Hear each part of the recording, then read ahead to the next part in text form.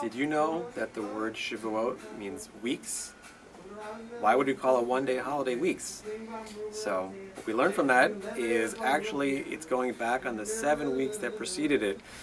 Those seven weeks are about becoming, improving yourself, improving your character. The day itself is about being, enjoying what you've built over those seven weeks. I hope that everyone has a wonderful and happy Shavuot and a Shabbat Shalom and a great Memorial Day.